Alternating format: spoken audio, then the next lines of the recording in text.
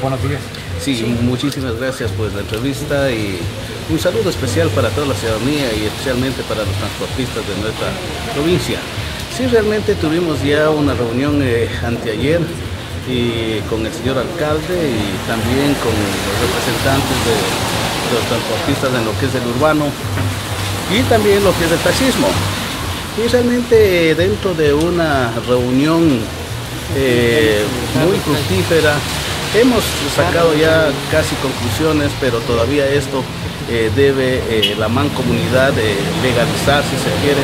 para que luego pues esto ya sea oficial. ¿Se está llegando a acuerdos con el afán de no perjudicarse a las partes de ciudadanía como sector de transporte urbano y taxis? Sí, precisamente hemos tenido el gusto también de estar en esta reunión con el señor eh, eh, ingeniero Tapia, que es el presidente de Federación de Barrios, y pues él también ha vertido sus criterios muy, muy, muy significativos y dentro de ese análisis, de ese diálogo, pues hemos llegado a conclusiones eh, muy puntuales en donde que el taxismo accede a la tarifa que está propuesta ya por el gobierno municipal, que es de 1.25 la carrera mínima, y también la transportación urbana pues eh, está ya aceptando 30 centavos dentro de lo que es eh, el, transporte. De Hoy viernes, coincidentalmente, termina el plazo para el estudio que se había señalado por parte del doctor Roberto de la Torre. Eh, bueno, sí, puntualmente este día ya terminaba el plazo y realmente por eso desde que nosotros hemos tenido esta celeridad en mantener las reuniones. Yo creo que ha habido mucha responsabilidad tanto de la mancomunidad como eh, de los gremios, eh, eh, de los actores, mejor dicho, dentro de la transportación. Y también cabe destacar de que el presidente de Federación de Barrios también ha estado muy preocupado de esta situación y también ha dado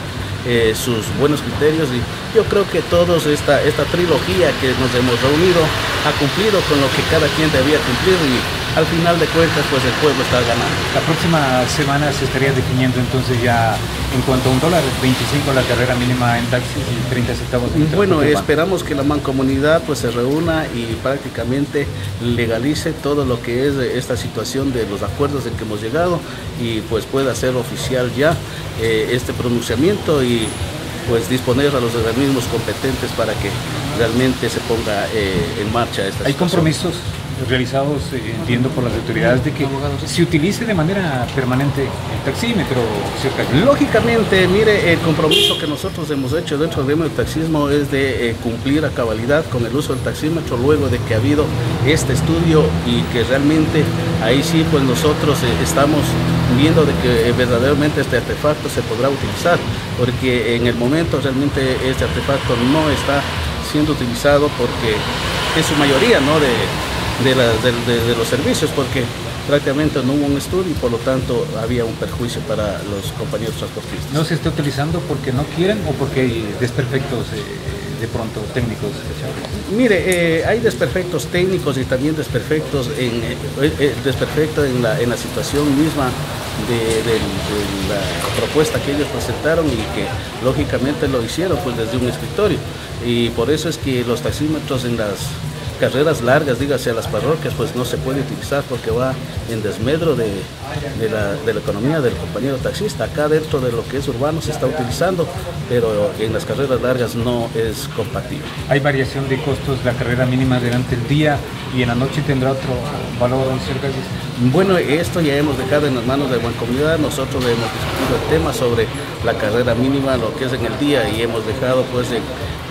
la libertad a la mancomunidad para que ellos sean quienes fijen eh, algún valor en la noche. ¿Qué pasa con los piratas, que también es una lucha permanente de ustedes, aquellos eh, transportes ilegales? bueno, eh, los llamados piratas, que en realidad son quienes trabajan al margen de la ley,